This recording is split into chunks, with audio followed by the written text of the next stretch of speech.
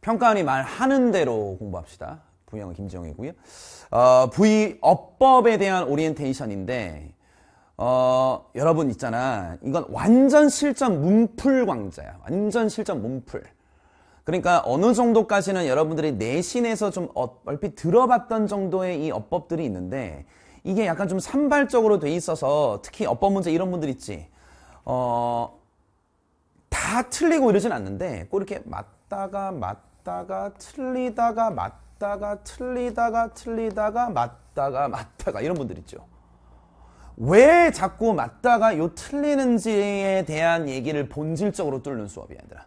그래서 이왕이면 제가 계속 반복하는 한 가지의 메시지를 계속 기억해 주시면 이게 점점 점점 점점 맞아지기를 바란다라고 하는 수업이에요. 아니 그러니까 내가 이렇게 얘기할 수 있는 이유가 또 뭐가 있느냐 있냐면 너네 어법 문제 풀 때 자꾸 이렇지 않냐는 거야. 예를 들어 어법 문제 29번 문제에 딱 어법이 나와서 선지 다섯 개가 딱 나왔어. 1, 2, 3, 4, 5번 이렇게 있어. 꼭 이제 우리 학생들은요. 특히 이런 분들은요. 선지 이렇게 밑줄 딱 이렇게 주잖아요. 그러면 이 선지를 예를 들어 이렇게 뺏게 3번 선지 이렇게 있으면 그냥 이 선지 주변만 이렇게 날름 날름 날름 날름 뭐 완전 불완전 능동 수동 이렇게 해서만 푸시는 분들 있죠. 여러분 그래서 이런 일이 발생하는 거예요. 평가원이 이러지 말라 그랬거든. 내가 좀 이따 보여드리겠는데 왜 자꾸 선지만 나오면 이렇게 가냐는 거야. 맨날 어 1번 선지는 너무 빨라. 얍 아직은 안 돼야 돼. 2번도 너무 급해? 음. 자, 가자! 했는데 맨날 헷갈리다가 틀리지 않냐고 얘들아. 뭐 하나 정도 날리다가, 아, 어떡하지 했는데 꼭 이거 그러면 이게 정답이고, 이거 그러면 이게 정답이고. 뭐 이런 느낌이요. 이 수업이 이런 분들의 아주 최적화되어 있는 수업이에요. 됐니? 자, 그래서. 교재는 이렇게 생겼습니다. 어, 항상 왼쪽 페이지에는 이렇게 문제와 필기란이 좀 있고요. 오른쪽 페이지에는 각 선지별로 제가 이렇게 좀 봐줘라 라는 제 말투에 나오는 어떤 분석이 좀 있을 거예요. 그리고 뭐 단어 좀 들어가 있고 심지어 요것만 보면은 네가 불안할 수 있으니까 아까 나왔던 선지와 비슷한 녀석들을 제가 따로 복습 문제를 만들었습니다. 그래서 복습도 가볍게 선택형으로 해가지고 밑에 정답 볼 수 있게끔 모든 페이지가 문제 설명 복습, 문제 설명 복습 이런 식으로 돼 있을 거야. 그치 얘들아? 자, 그래서 차, 뭐 책은 그렇게 구성이 돼 있는데 진짜 중요한 얘기. 이게 진짜 중요하다 얘들아. 아니가 이거야. 저 방금 전까지 1강을 찍었거든요. 근데 찍으면서도 계속 언급하는 비슷한 얘기인 게 아니 왜 네가 이 어법 문제를 본 적은 있어 이 선지를 근데 왜 자꾸만 시험장만 가면 이게 흐릿해져서 아까처럼 헷갈리냐는 거예요 헷갈리는 거 이 수업은 헷갈리는 거에 중심이 맞춰져 있거든 아니 또 이렇지 않나? 아니 네가 분명히 공부했던 문법 개념이 있는데 이게 정리가 안 돼서 그냥 떠다니기만 해가지고 이제 적용이 안 되는 이런 느낌이죠. 어법을 특히 이런 분들이 말씀드렸잖아. 이런 분들이 어법을 모르지는 않거든요. 근데 이게 탁 하고 정립이 안 돼 있다 보니까 자꾸만 틀리다 맞다를 반복하지 않냐 싶은 거야. 자 마지막 이거지 사실은. 이게 하기도 애매하고 안 하기도 애매한 거 뭔지 알지 얘들아. 이 한 문제밖에 안 나와 어법 문제가. 그러다 보니까 아, 이거 시간 투자를 너무 많이 못 하겠는데 이런 분들 있죠. 어, 이거예요. 제가 그래서 여러분 어 여기 그 다음에 나오나? 이 다음에 나오나? 아, 좀 이따 나오나 보다. 근데 미리 한번 얘기를 해줄게 나. 요거 있죠, 요거, 요거, 요거. 이 수업은 여기에도 최적화돼 있어요. 제가 메인은 여러분들 교재도 받아 보시면 알겠지만은요. 아, 그냥 이렇게 얘기하자. 10개년치 평가원 어법 기출문제와 분석 자료가 다 들어가 있을 거예요. 복수 문제랑. 그럼 또 10개년이면, 10개년이면, 허이씨, 너무 많아요. 에이, 뭔 소리야, 얘들아. 1년에 3문제밖에 안 나오잖아. 6구평 수능. 그거 30문제야. 아, 근데 30문제도 너무 많아요? 네, 그럴까봐 제가 최대한 해줄 수 있는 건 뭐냐면 제가 아까 수업에서도 많이 언급했는데 난 여러분들이 이 부의어법 수업을 다 듣지는 않았으면 좋겠어.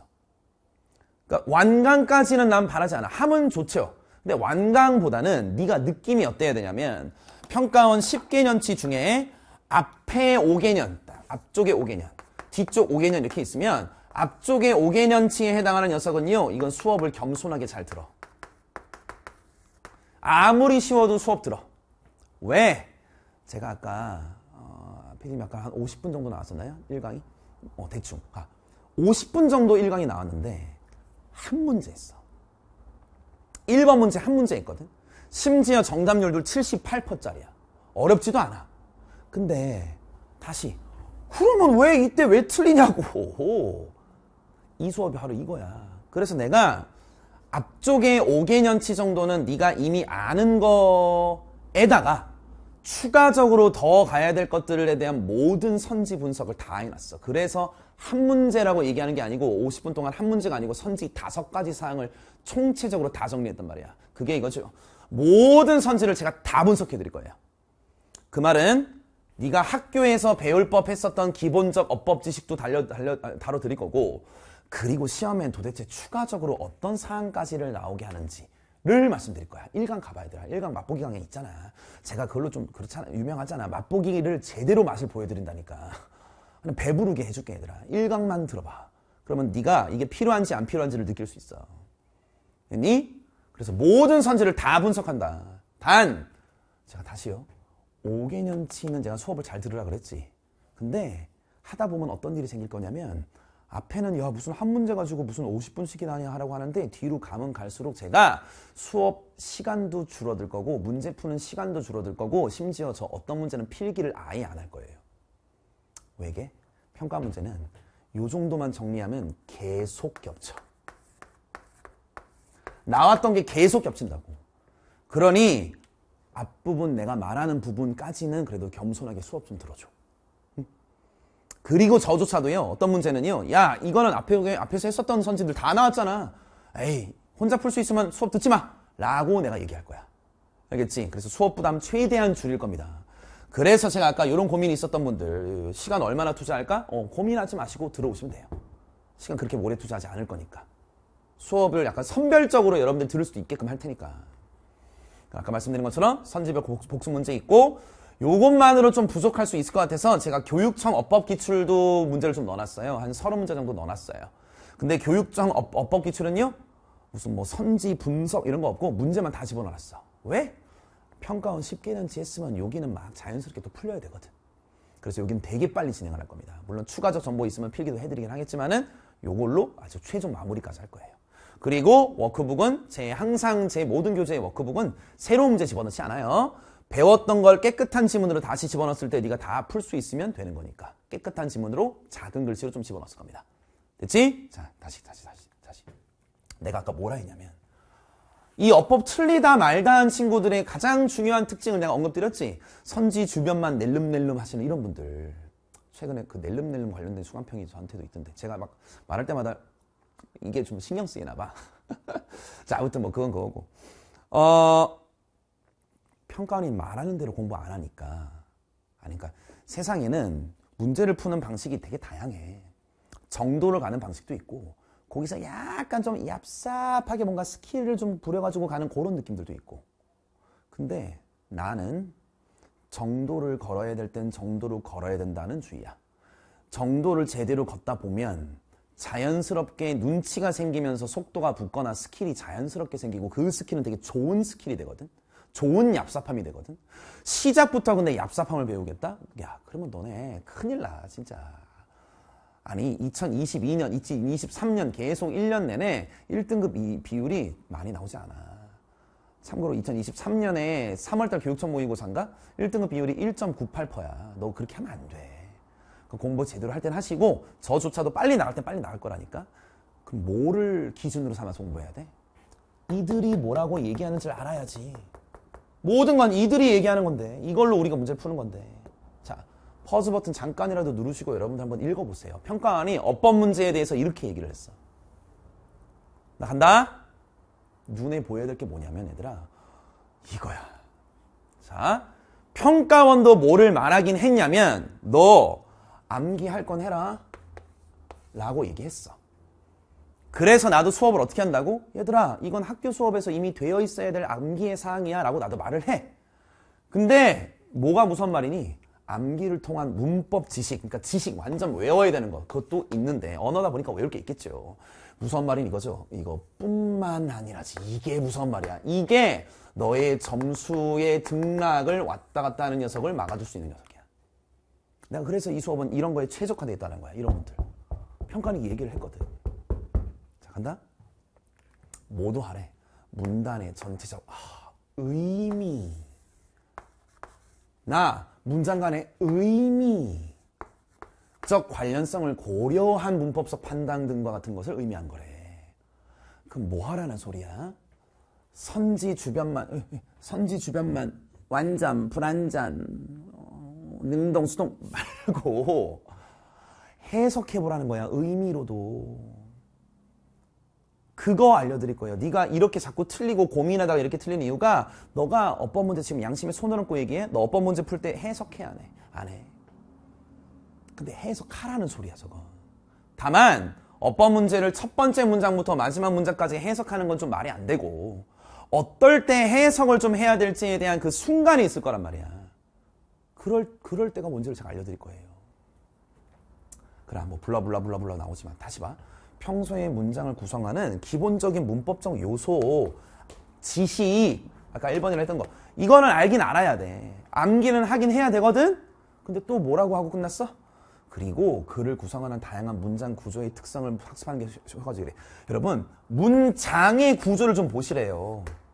그 말은 뭔 소리냐, 뭔 소리냐면, 그 부분만 보지 마시고 문장 전체적으로 구조, 즉 해석을 해보라는 소리예요. 평가는 해석하라 그랬다고. 근데 왜 너는 안 하냐는 거야. 그게 얼마나 피부에 와닿을지를 제가 문제 통해서 보여드릴게. 에이, 무슨 어법을 해석을 해서 풀어. 어? 해봐. 그렇게 안 하고는 틀린 문제 나올 거니까. 자, 그걸 잡아드릴게, 제가. 빠른 속도 안에. 초반만 잘 버텨. 초반만. 정리한 말이 겁니다. 첫 번째, 어법 지식도 제가 알려드릴 거고요. 학교 어법이 약간 좀 불안하신 분들도 아마 여기서 좀 다시 재정립을 하실 거고요. 두 번째 이게 중요하죠. 음. 의미적으로도 돼야 될 걸, 그래야 안 틀릴 걸 이라는 녀석도 제가 강조할 겁니다. 이걸 쉽게 는지 평가하는 문제를 선지 분석들을 통해서 제가 미친 듯이 반복할 거예요. 그러니 어쩔 수 없이 뒤로 가면 갈수록 수업은 빨라지겠죠. 네가 이미 알고 있는 거니까. 그걸 놓을 겁니다. 그러니까 이거는 사실 그냥 제 마음가짐이야. 매번 제가 V 어법 할 때마다 보여드리는 마음가짐이거든. 나 진짜 이루고 싶어 너네들을 하고. 많은 시간 투자하지 않고 초반만 고생을 해. 평가원에 제시한 저 두 가지 기준을 끊임없이 반복할 거야. 제가 뭐로 유명해? 1년 내내 독해가 됐던 어법이 됐던 뭐가 됐던 항상 끝없이 반복해줘요. 지겨울 정도로. 그래서 너가 지겨울 정도가 돼가지고 그걸 네가 그 정도 수준이 되게 만드는 게 제 목표지만 진짜 시험장에서 어? 야 이거 또 나왔네. 으! 하고 몸이 반응하게 만드는 게 제 목표입니다. 말씀드렸죠? 모든 선지문서 한다 그랬어? 기본 플러스 알파까지야. 아까도 1번 선지야 하나 가지고선 제가 한 30분을 설명했어. 왜냐면 뒤에 나올 것들까지 다 설명하느라고. 그치 얘들아? 뭐 예를 들면 뭐 이런 거예요 여러분들. 그러니까 가볍게만 보세요. 여러분들 머릿속에 혹시 which라는 녀석과 where이라는 녀석 이거 관계 대명사인 건 알아야 돼. 이거 관계 부사인 건 들어본 적은 있어야 돼. 아 몰랐으면 수업 들어오면 제가 말씀드릴 거야. 근데 이렇게 배우신 분들 있다면 얘 앞에 선행사의 종류와 얘 앞에 선행사의 종류 그리고 뒤에 나올 녀석의 문장의 형태 이걸 제가 이런 문장을 통해서 제가 보여드렸거든? 자 제가 이거 수업하는 거 아니고 그냥 맛만 보여드릴게. 이거 1강 1번 가면 제가 이제 피 터지게 얘기한 거 있다. 봐봐. which라는 녀석 앞에 선행사가 뭐라고 나오지 보통은? 이게 둘 중에 하나 고르라는 문제라고 치자고. which는 보통 앞에 사물이 나와야 되는 거 아니야? 그 다음 where 앞에는 장소가 나와야 된다고 배우지 않았어? 근데 맞긴 맞아. 그게 기본은 맞아. 근데 얘들아 학교는 사물이야 장소야? 둘 다 돼. 그게 평가원이 말하는 플러스 알파야. 의미적으로. 이거 사물이다 장소다를 따지는 게 의미가 없다는 소리야. 왜 그런진 1강 들어와서 와 이런 게 있구나 라고 느껴. 두 번째, 너네 대다수는 뭘 보고 푸냐면 여길 보고 풀어. I usually eat. 어떻게 풀어? 막 완전 불완전 이런 거 따지지. 완전 불완전. 그러면 이제 기본은 뭐냐면 너 학교 교육에서 관계 대명사 뒤에는 불완전한 문장이 나와야 돼요. 불완전한 절이죠. 정확하게 얘기하면. 관계 부사 뒤에는 완전한 절이 나와야 돼요. 라고 배우거든. I usually eat. 얘들아, 난 주로 먹는다. 완전해, 불완전해? 솔직히. 이거 목적어가 없는데요, 선생님. 뭘 먹는지가 안 나오잖아요. 나는 주로 먹는다. 그럼 불완전한 건데, 그럼 너 이 수업 들어야 돼. 너 그러면 틀려. 왜? 평가하는 의미적인 고려도 하라 그랬거든. 왠지는 1강 보시면 돼요. 맛보기 보시면 돼. 말씀드렸죠? 선행사 종류 완전 불완전. 에이, 아까 뭐라고? 이걸로 푸는 게 아니야. 요것만으로 풀면 안 돼, 얘들아. 해석을 안 하시면 의미적인 관련성을 모르시면 문제 틀릴 문제들이 산적해 있어요. 제발. 그치? 예를 들면 또 하나 보여드릴까? 자, 이런 분들. 봐. what 하면 뭐가 떠올라? 이제 암기 어법으로 가신 분들은요. 앞쪽에 선인사 없어. 뒤가 불완전해야 되는 관계 대명사야. 어? 선인사는 없는 거 맞네? 명사가 없으니까? 오부잖아. 그럼 뒤에 이제 완전 불완전, 이제 불완전해야 되거든? 뒤에 어때, 얘들아? 로버트 파일이 주어, 콜드 동사, 목적어. 어? 주어, 동사, 목적어 다 나왔는데? 어? 그러면은 이거 지금 완전한 절인데? 어, 정답 5번이다. 틀렸다, 이거, 이거. 그럼 너 3점 날라가. 실제 평가는 어법 기출이야. 알겠지, 얘들아? 왜 그런지는 수업 들어보시면 알아. 이렇게 하시면 안 돼, 진짜. 부탁이야. 이렇게 하시면 안 돼. 교수들이 그걸 널 기다릴 거야. 알겠지, 여러분? 그런 느낌들이 지금 있는 분들은 빨리빨리 들어오시면 돼요. 뭐 제가 할 얘기들은 거의 다 끝났는데, 그러니까 정리하면 이거예요. 음. 초반에만 좀 고생하자, 알겠지? 초반에 알아도 겸손하게 필기할 거, 받아들일 거, 받아들이는 거, 초반만 좀 고생해줘. 근데 그 고생 많아봐야 제가 볼 때는 한 몇 문제 되려나? 10개, 15개, 15개 문제 되려나? 10개, 15개. 요 정도만 수업 제대로 들어줘. 그리고 내가 수업에서 얘기할게. 아, 여기는 너 안 들어도 괜찮아. 필요한 분만 봐. 아니면 찍먹해. 필요한 것만 라고 할게.